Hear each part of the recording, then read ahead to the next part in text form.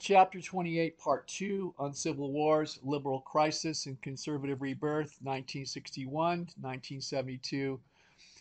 So we left off Part 1 with the Gulf of Tonkin incident, and this would be the spark that would that would change America's association in Vietnam from advisorship to actual actually a military you know uh, operation uh, where you know Lyndon Johnson reacts uh, pretty strongly to, to this incident and and the next thing you know, you're in a full scale war. Uh, so we're going to watch a couple of back-to-back uh, short film clips here of President Johnson talking about Vietnam. Uh, the first one I want you to watch right now. Uh, please watch the film entitled President Lyndon Johnson: Why We Are in Vietnam, and we're going to watch both of these pretty pretty close together here, and we're going to see how. Well, first of all, this is the you know mid 60s so so the media wasn't quite as polished as it is today and it's not and the news was not an entertainment you know choice as like it is today uh, in those days the people were very serious and to the point and and that was kind of it so uh, Johnson perhaps not Mr. Personality in in both of these clips but some but some interesting and and important information that he that he's getting across to us this first clip he he's uh, you know talking about you know why why the the country's involved is going to be involved in this war. And then the second one he'll he kind of backsteps a little bit. He seems a little bit frazzled as the war is going on. So go ahead and watch why we are in vietnam and then come on back. Okay so johnson develops a bombing campaign. Uh, this is called operation rolling thunder. And the campaign was initially uh, supposed to be eight weeks but it lasted for three years uh, Johnson immediately sent in 3,500 Marines. So these people are not advisors. And, and the war spun out of control. Um, Johnson began a policy of a sustained bombing of North Vietnam, uh, just relentless bombing. And, and it truly was out of frustration by him. Uh, so he turned to this more extensive use of air power. Uh, so Operation Rolling Thunder was this bombing campaign. The first Rolling Thunder mission took place on March 2, 1965, when 100 American and South Vietnamese planes struck an ammunition dump 100 miles southeast of Hanoi. In July 1966, Rolling Thunder was expanded to include North Vietnamese oil storage facilities. And in the spring of, of 1967, it was further expanded to include power plants, factories, and airfields in the Hanoi area. Of course, Hanoi was the capital of North Vietnam. Uh, so again, only supposed to last for eight weeks, but it, it ends up being three years. Uh, so looking at, at our at our map here again, uh, Hanoi is up here in the north, the capital of North Vietnam, and most of the Operation Rolling Thunder uh, bombing campaigns were around the city of, of Hanoi. And we talked before about the demilitarized zone, the DMZs, the kind of the border between North and South, Communist North, Republic South, and then of course Saigon uh, is, as it was called in those days, the capital of of South Vietnam.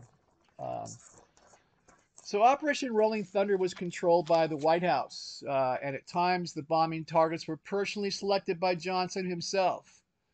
Uh, between 1965 1968, about 643,000 tons, 643,000 tons of bombs were dropped on Vietnam, North Vietnam. A total of nearly 900 U.S. aircraft was lost during Operation Rolling Thunder, and of course, the loss of very many American soldiers. Uh, the operation continued with occasional suspensions until President Johnson, under increasing domestic political pressure, stopped it on October 31st, 1968. Let's go to our next film about Johnson, and this one's called Lyndon B. Johnson's Speech on Vietnam. And while it's similar, you, you see these he's he's somewhat backed down from, from the approach he had initially. Go ahead and watch that second film. Okay, so Vietnam deteriorated into a directionless war. Bombing raids that were really not that successful, but were killing a large number of civilians. So again, you're not supposed to you know, kill civilians if you can help it. Um, it, it the uh, Geneva Convention, you know, s- states that countries at war should do all they can to avoid civilian uh, casualties. But here you're bombing, you know, a city, or you know, at least uh, you know, a, around a city. Uh, but it, it also was a guerrilla war, and we talked about the guerrilla wars in the in the Philippines and Cuba. You know, it's a different type of, of geography, and you're talking about a, a you know a tropical kind of area, uh, very wet, very hot. Uh, it's difficult to maneuver troops around an area like that. Uh, deep, thick jungle. It rained all the time. The soldiers were constantly wet. So it's a difficult war to, to, to gain a foothold with. Uh, but then in January 1968, the Viet Cong, the North Vietnamese, uh, launched the Tet Offensive. Uh, January 1968. North Vietnam attacks dozens of targets in South Vietnam. A major shock and surprise, and the North Vietnamese took control of the war. And they did this during the Lunar New Year or the Tet holiday. North Vietnamese and Communist Viet Cong forces launched a coordinated attack against several targets in South Vietnam. So hitting hitting different targets at the same time took a lot of planning. Uh, the United States and South Vietnamese military sustained heavy losses before finally repelling the communist assault. Uh, this played an important role in weakening U.S. public support for the war in Vietnam. Let's go to our next film. Please watch the film How the Tet Offensive Changed the Vietnam War, and then come on back. Okay, so Ho Chi Minh, the, communist revolutionary leader, the prime minister, then later president of North Vietnam, we talked about him first Indochina War, and other leaders. They planned the Tet Offensive in the hopes of achieving a decisive victory that would that would end the grinding conflict because it frustrated military leaders on both sides. Neither side was gaining on the other. Uh, so it was believed that a successful attack on major cities might force the United States to negotiate or perhaps even to withdraw completely. Uh, at the very least, they hoped it would stop the ongoing escalation of guerrilla attacks and bombing in the north. So the Tet holiday was chosen as the time to strike because it was a traditionally, I'm sorry, because it was traditionally a time of truce, because it's a holiday, and because Vietnamese traveling, because Vietnamese were traveling to spend their, the festival with their relatives. So it provided cover for the offensive. And then they were criticized for this by other countries to to choose a, you know, a somewhat of a, a, a agreed upon time of a truce during a war to, to for people to spend time with their families. And they did it anyway, and citing the fact that it gave us cover. Uh, so it's so it was a big deal. The Tet Offensive is a big deal, a major major part of the Vietnam War. Absolute shock to America and South Vietnam. Uh, the assault began with, the, with the, as I said before, a simultaneous attack on several targets in mostly populated areas. So again, a lot of civilians, but they also chose chose those uh, those areas because of the heavy United States troop presence. Uh, so the Tet offensive uh, struck at the major cities of Hue and Saigon in in uh, South Vietnam.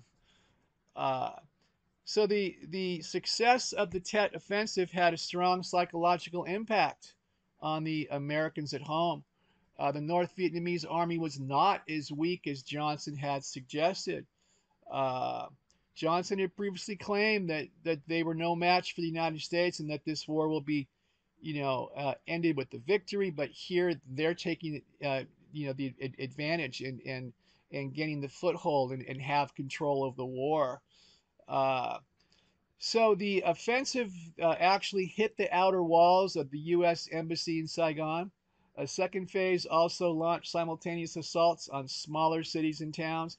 A third phase began in August and lasted six weeks. This lasted, lasted for a long time. Uh, however, the United States and South Vietnamese forces were able to retake the towns that had been secured over the course of the offensive, but they incurred heavy military and civilian casualties in the process. Uh, so at the end of the Tet offensive, both sides had endured much losses, but also both sides claimed victory.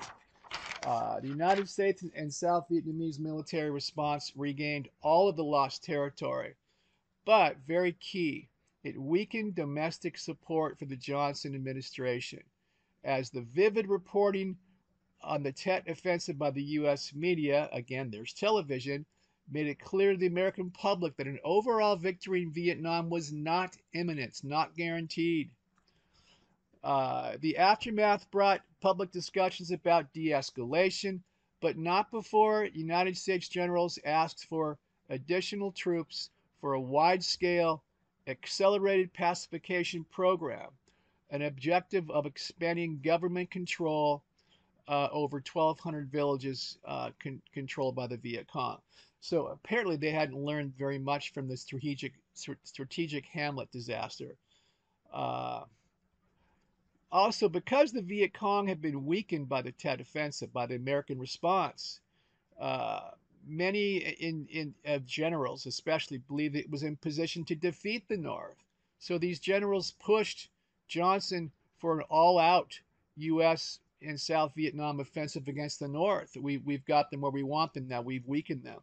But Johnson saw it differently, uh, and and you know, proven that he was frustrated beyond, you know, reproach. Uh, he announced that the bombing of North Vietnam would cease above the 20th parallel, and he placed a limit on U.S. troops in South Vietnam. So it, it really does work. The, the Tet Offensive does force Johnson to back down, for America to back down. Johnson also uh, wants peace talks. He wants to get together in, in someplace, you know, neutral and, and have a, a, discussion about, you know, ending this war. Uh, that would not end up happening for several several more years, and we'll learn why here in a minute. Uh, so, of course, the protests back at home in, in America, the Tet Offensive increased the anti war movement in the United States. Uh, this movement intensifies. March 31st, 1968, uh, to the shock of, of the country, Johnson announced that he would not seek a second term as president. So remember, he finished Kennedy's term. He ran in 64 for his own term. So he was eligible to run for another term. But he says, no, I, I, I don't want to run. And if, and if you, um, uh, if you elect me, I will not serve. So don't don't do that. You get somebody else. Johnson pulls out. Uh, the job of, of finding a way out of Vietnam was left to the next U.S. president, which would be Richard Nixon. So the Tet the Tet offensive and his escalation of the war, and especially his relentless bombing campaigns, Operation Rolling Thunder, drove Lyndon Johnson out of office, and he refused to run for a second term in '68. Uh, at that time, when he when he stepped down, there were 500,000 U.S. troops in Vietnam when he left office. So, of course, the next president is Richard Nixon. Uh, he becomes uh, starts to starts to serve as president in 1969. Uh, of course, this presidency will end in disgrace when he was when he was forced to resign because of the Watergate incident that we'll talk about in the next chapter or so. Uh, so I talked about the Paris peace talks. In 1968, the Paris peace talks were begun. Uh, the United States and Hanoi agreed to enter into preliminary peace talks in Paris in 1968.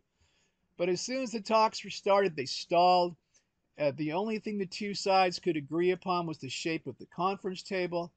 Uh, so these talks that were intended to put an end to the then 13 year long Vietnam War you know, have trouble getting started. But at least at least they're negotiating. But but they would actually fail because an aide working for then presidential candidate Richard Nixon convinced the South Vietnamese to walk away from the dealings, from the peace talks. Of course, this was done in secret. Uh, Nixon's presidential campaign needed the war to continue since Nixon was running on a platform that opposed the war. Uh, Nixon feared a breakthrough at the Paris peace talks, designed to find a negotiated settlement to the Vietnam War, would derail his campaign and disallow him from being the hero that ended the war. Uh, so Nixon undermines the Paris peace talks, uh, which is one of the most uh, you know horrific moments in American history that a, that a, a, a then presidential candidate would would uh, take action to to uh, prolong a war so he could be the person that ends it to be the hero and this this cost thousands of american lives because the war continued for five more years Uh, let's watch our next film. Please watch the film Vietnam War Nixon Undermined Peace Talks. And this is an interesting film. You actually can hear a telephone conversation between Johnson and Nixon um, talking about this. Go ahead and watch that film. okay, so Nixon prolonged the Vietnam War for political gain. So, you know, Nixon was a very interesting personality in American history. He was a narcissist who was obsessed with his place in history. Uh, eventually, Nixon would win in 1968, very close by just 1% of the popular vote. And this was from the BBC. Uh, once in office, he escalated the war into Laos and Cambodia with the loss of an additional 22,000 American lives before finally settling for a peace agreement in 1973 that was in, within grasp in 1968. So, because he undermined the Paris peace talks, the Vietnam War went on for five more years, and that cost 22,000 American lives and countless tens of thousands of Vietnamese, Cambodians, and Laotian lives. Uh, so when he, when he, of course, nobody knew about this when he got elected. Uh, while so as he as he takes office, uh, while announcing to America that he would begin to remove troops and end the war, of course, this is making all the young people at home very happy. Uh, Nixon begins to secretly bomb Cambodia. So, why would he do that? And here's a map of Cambodia, and each little red dot is a is a bombing mission. So you can see that he pretty much obliterated half the country. the reason why he did it, North Vietnam had been launching attacks from inside Cambodia. In fact, they did so during the Tet Offensive. Although Cambodia had declared neutrality, they allowed North Vietnam access to their country. So for for for North Vietnam, it was much a, a much shorter route to, to fly into South Vietnam from Cambodia than come down from North Vietnam. Uh, so on February 22nd, 1969, the North Vietnamese launched a new offensive against American forces in South Vietnam from bases in Cambodia.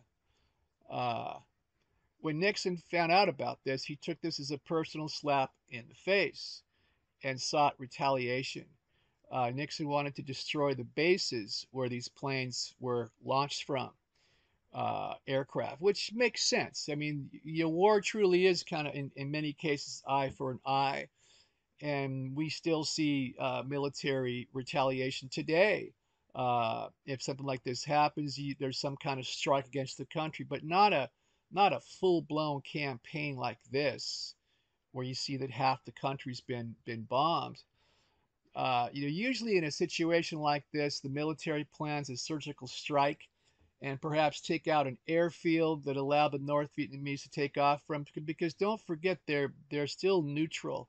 It was perhaps a bad decision for Cambodia to allow Vietnam to do North Vietnam to do that, but they're still neutral. Uh, so let's do a surgical strike and, and blow up the base that they flew out of. But as as we'll see, that was not what Nixon did. Uh, he starts this whole new campaign and, goes to war with another country. Uh, he consulted his national security advisor, Henry Kissinger. Uh, Kissinger shared Nixon's determination to respond aggressively, and the plan they came up with would have devastating and long term effects. Their solution was to bomb Cambodia, the entirety of it, in hopes of not only destroying the North Vietnamese bases in the Cambodia jungles, but for payback for, let, for allowing them to do that. Uh, but this was secret. Nobody knew about it. No, nobody uh, in America, Congress, uh, the military, nobody knew about this. And Nixon knew if it was ever leaked to the American public, he'd be in deep trouble. This is an impeachable offense. And a national chaos could be the result. But Nixon's frustration and impatience grew. He was angry, much like Johnson responding to the Gulf of Tonkin incident. Overreaction, and you start a full scale war. Uh, Nixon said to Kissinger, We cannot tolerate one more of these without hitting back. Uh, so they determined to order the bombing of the country, but always remained worried about what might happen if the American public found out what he was doing. So Nixon and Kissinger worked tirelessly to make sure it remained a secret. And this is a, a comment from Nixon to Kissinger. No comment, no warnings, no complaints, no protests. I mean it. Not one thing to be said to anyone publicly or privately without my prior approval. Even the pilots the, of the planes that carried the bombs were lied to about the location of their targets, and their missions were kept off the official flight logs. Uh, it was it was made to seem like they never actually happened. Nixon never consulted Congress. A, a president doesn't have that ability to just you know uh, start to wage a full-scale war against a country that you're not at war with. Uh, never consulted Congress. Even the he even kept the bombings a secret from the high-ranking officials in the military. So imagine that the the officials in the military don't know this is going on. So on May 18, 1969, the U.S. military, under direct orders from the president, began to bomb Cambodia in absolute defiance of the American public and Congress. Uh, the operation was called Operation Menu, and the first set of bombing runs was called Breakfast and the breakfast bombings were hailed uh, a success by Nixon and Kissinger, privately, of course. Uh, Nixon sent uh, Kissinger a, a private note. We should let them have it again, crack the hell out of them. So he's enjoying himself. Uh, this, this of course, would result uh, for many years in in some, you know, uh, issues with between Cambodia and the United States. The, the Cambodians aren't very happy about this, and and you know still have a grudge against America for doing this. Uh, let's go to our next film. Please watch the film "Why Does the Cam Why Does Cambodia Hate the U.S." and then come on back. Okay, so so just just for a, just for a quick a quick review. Uh, the Nixon administration secretly ordered bombings on a country that America was not at war with without the consent of Congress or the knowledge of the American people. And these air raids were had code names like lunch, snack, dinner, supper, dessert, and those followed the breakfast bombings and concluded finally Operation Menu. But his fatal decision to keep it secret would have disastrous effects. Uh, I'm sorry, domestic. I'll get it. Disastrous domestic and foreign consequences and would be a point of contention between Cambodia and America for many years to come, as we saw in the film. But Nixon proclaimed the bombing of Cambodia was the most successful military operation of the entire war, even though it was completely illegal and not really his, you know, he didn't have the, the uh, right or the power to, to do so. When the media outlets finally found this out, uh, this was a big, big deal. It was a huge story. Critics of the war became more vocal. You know, college students across the United States became increasingly outspoken in their opposition to the war, and the demonstrations increased and became more heated. Congress immediately put an end to it. But amazingly, nobody called for Nixon's impeachment. This was a textbook case of abuse of power, lying to Congress and the American people. But Nixon was a hugely corrupt president. Uh, and this incident is not even the reason why he would resign. Uh, he would never learn. Abuse of power and pathological lying would come back to haunt him. So I mentioned when he was when he was elected that the young people were, were I wouldn't say in support completely, but they were happy that the war was going to end, that he was going to finally do it. Uh, but now they find out that he's doing this. So you can't trust him either. We, we couldn't trust Johnson. We now we can't trust Nixon. Get these people out of here. And no, we're not going to go fight your war. Uh, so again, young people, what are we fighting for? And it's one, two, three. What are we fighting for? Don't ask me. I don't give a damn. Next stop is Vietnam. Uh, you know, music starts to, uh, you know, protest this war. It, it's a it's a huge movement. Uh, young people of the 60s, the baby boomers, rebelling against the government and American society in, in general that their parents built. You know, why are we fighting and dying for this war? We don't want to go and fight and die for this war. The greatest generation of, of World War II had beaten Hitler and saved the world. And most of those soldiers, it was a segregated army then. Most of those soldiers were white and conservative. And now that they're older, they, they condoned the war in Vietnam to stop communism and they tell their sons serving in the military was a source of pride. Uh, and it should be. It's a huge commitment for anyone uh, to do, for someone to do, to, to serve in the military. But the baby boomers say, but you were fighting Hitler. That made sense. I'd fight that. I'd fight that too. What are we fighting here? We don't know what we're fighting. We're, we're fighting this thing called communism. We don't want it to spread. And you're, you're saying it's going to take over the world. And I don't know if we trust you anymore. It, it feels to me like this war is being prolonged for profits. Lots of war contracts and defense contracts, and people are making a lot of money off this war. Uh, if we can keep it going, uh, people will get rich, and all it costs is just what some more American servicemen. So young people fight back. And another question was: This war's been going on for you know a long time. Uh, why can't America win this war? Where's the big plan? Uh, we remember D-Day, World War II, and island hopping in, in the Pacific, and, and they worked.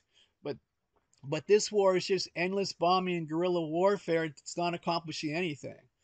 So unlike their parents, the baby boomers, you know, are distrusting the government, distrusting the president, and distrusting their parents. People are dying, and for what? Uh, to, to line people's pockets at our expense, the expense of our lives.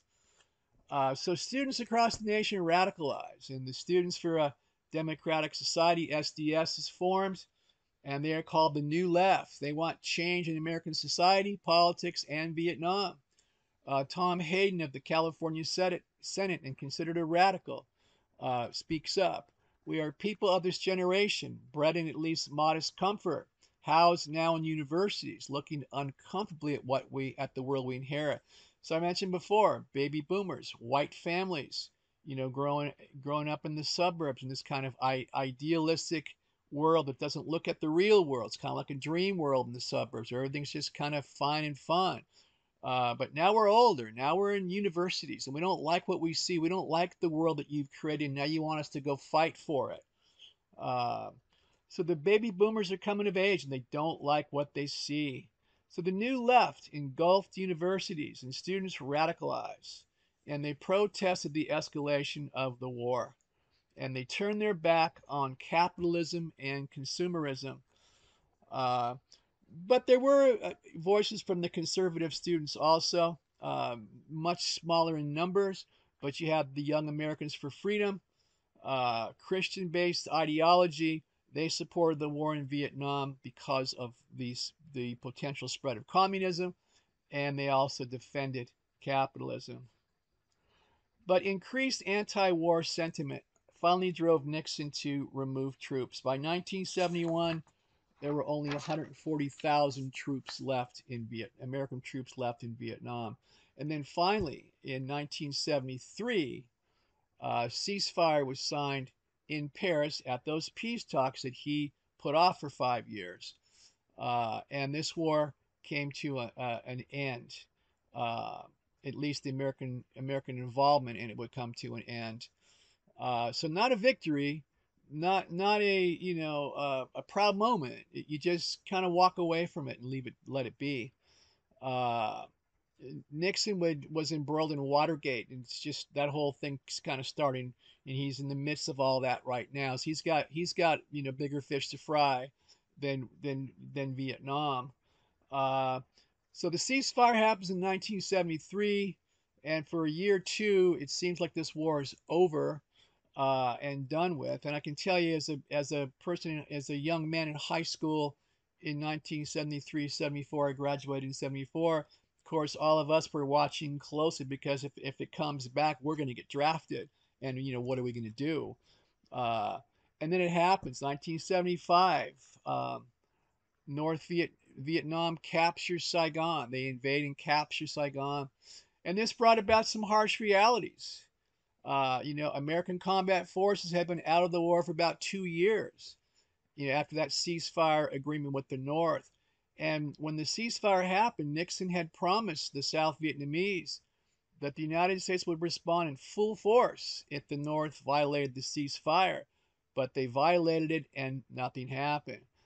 By this time, Nixon was powerless. By this time, Nixon was for, already been forced out of office and was disgraced by the Watergate scandal. So, you know, you have a situation where America pulls out of a country that they've been fighting a war at for many, many years. So, you know, we, we recently had the same thing happen uh, uh, in a similar situation in Afghanistan, evacuating Afghanistan and the disaster that that was. Uh, so it's very similar to what happened in um, Saigon. Um, uh, Afghanistan is America's longest war in history. Two decades of combat since 9 11. Uh, trillions of dollars spent, tens of thousands of lives lost. And the debate over Afghanistan isn't really over, even if the war is. So the Taliban's rapid takeover has created a number of new questions. So as as the as the United States pull out, the Taliban takes over quickly. Uh, and of course, that you know the the Taliban has been involved in in, in lots of the terrorist you know incidents, 9/11 themselves.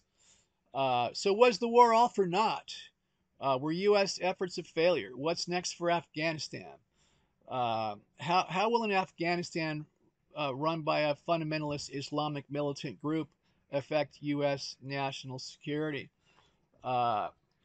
Of course, as we know, the, the evacuation was a bit of a disaster for Biden, uh, causing people's faith in him to plummet. Many people were killed. Uh, some suicide bombing. Uh, people were left behind that had been loyal to the United States. Uh, if Trump had been had been reelected, and of course he believes he was, uh, he was planning on evacuating Afghanistan back in April and May of 2021. Would the evacuation have gone better under his guidance? And he, he thinks so. But the truth is, evacuating a country is not very easy, and chaos is not atypical. And the chances are that even if Trump had done it, it would have resulted in this in the same same thing. So let, us get back to our era here. I just kind of took a segue there because it's similar. So South Vietnam lost the war, uh, and in the end, the communists won. And um, of course, what about the Truman Doctrine? You know, what what about that? It seems like they're they're winning more than they're losing. Uh, Cuba, China, now Vietnam. What about the domino theory? This idea that if Vietnam fell, they all would fall. Well, no other country fell to communism. Uh, the domino theory really did not happen. Uh, so, what is the legacy of Vietnam? Over 200,000 American casualties. 58,000 dead, 153,000 wounded. So hardly World War II, right? But tens of thousands of American men were killed. And for what? You know, a policy of containment, the Truman Doctrine? Is it, was it all about the policies of white men that, that are lining their pockets? Because that's what young people felt. Is that what it was? Uh, and of course, we, we know that the response was many young people turned against society and we're not going to be part of your society of war and, and profit and capitalism. Uh, and they started counterculture. That's, of course, you know, with, with drugs and, and uh, free love and all kinds of you know, expression, long hair, uh, uh, music that, that you know, uh, is about their lifestyle. And they have the ideology of turn on, tune in, and drop out. So turn on meant to take drugs and have sex, lots of sex to get in touch with your consciousness. Tune in meant to be in harmony with the world around you. uh, drop out did not mean to drop out of college like many of the greatest generation believed. Um, it meant to lead the society of war, uh, youth discrimination, consumerism, capitalism. And like I said, music defined this generation. Artists stoked the fires with their songs. Uh, let's let's watch a short film here about the hippies. Please watch the film. Hippies change the generation, and then come on back. okay, so 1967 was called the Summer of Love, where this lifestyle reached its peak. Uh, but then 1968 exploded and everything changed. And we've talked about most of this. The Martin Luther King and Robert Kennedy both assassinated months apart in 1968. Uh, the Tet Offensive uh, meant that the United States was not doing very well in this war. And of course, the world asks, why not? You're the most powerful military in the world. Uh, 1968, the anti-war movement was at its zenith, and it didn't matter whether you were Republican or Democrat. The youth were against both. Uh, they had a riot at the Chicago Democratic Convention we talked about, uh, protesting the escalated war. They chose the Democratic Convention because Lyndon Johnson Johnson was bombing endlessly. It seemed, so it was it was in protest against him. The students had had enough, and they made a stand knowing, of course, that it would all be on TV. And we, we saw that, that film uh, with the, uh, I'm sorry, we're going to watch that film right now with the whole world's watching, the whole world's watching. so they find, they, they formed a line in protest screaming peace now with the peace sign. Used to be the victory sign, now it's the peace sign. The police showed up in riot gear and forcibly removed the crowd with batons. So we, we've heard about this before. Uh, the march on Selma, Birmingham, fire hoses, batons, you know, beating people. But this time it wasn't black people. This time it was mostly middle class white kids who were students. So when you when you watch the, the clip we're going to watch here in a minute, uh, in the beginning you can hear the crowd yelling, peace now, peace now, peace now. But towards the end, you hear the whole world's watching, the whole world's watching, because TV's filming this and they know that the world is watching these police beat them up. Please watch the film, The 1968 Chicago Police versus Protesters, and then come on back. Okay, so so volatile times, you know, anti-war and the civil rights movement made a lethal combination in the 1960s and celebrities and sports figures get involved in the protests. Uh, Muhammad Ali, I mentioned him before, formerly known as Cassius Clay, the heavyweight champion of the world. He refused to serve in the military.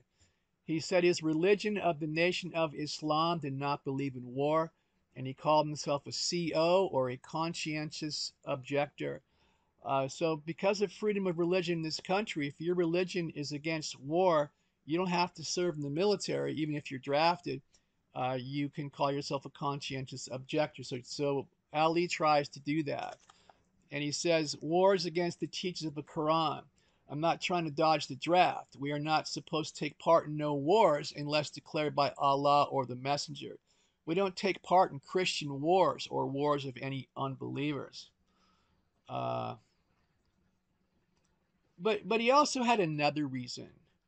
Going back to the question, how can America claim to be fighting for freedom when their own people are abused and tortured at home?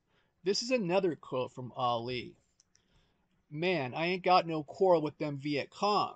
Why should they ask me to put on a uniform and go 10,000 miles from home and drop bombs and bullets on brown people in Vietnam while so called Negro people in Louisville are treated like dogs and denied simple human rights?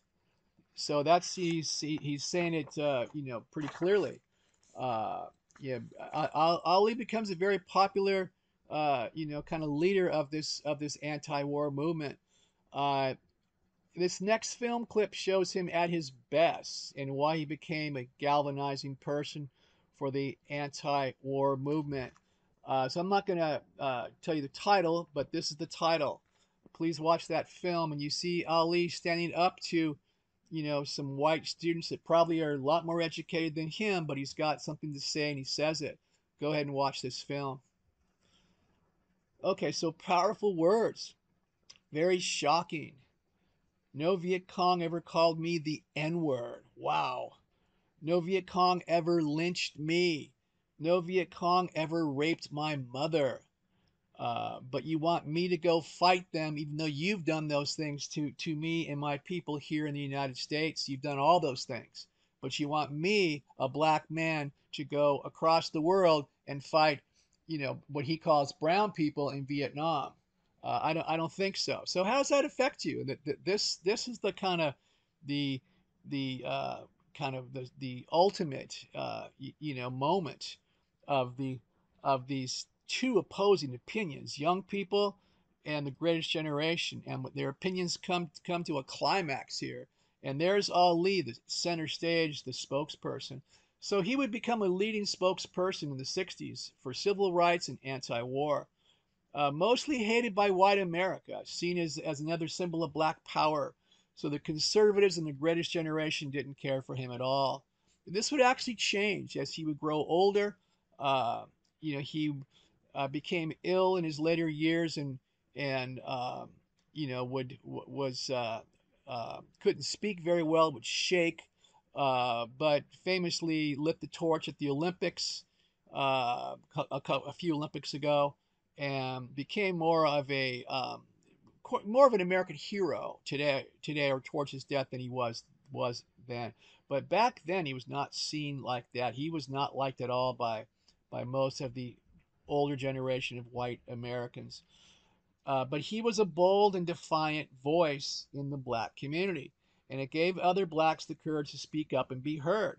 And just like Malcolm X, just like Marcus Garvey, just like W.E.B. Du Bois, uh, on and on. Uh, no more deference, no more acquiescence, no more humble servitude. Uh, stand up and fight for what is rightfully yours.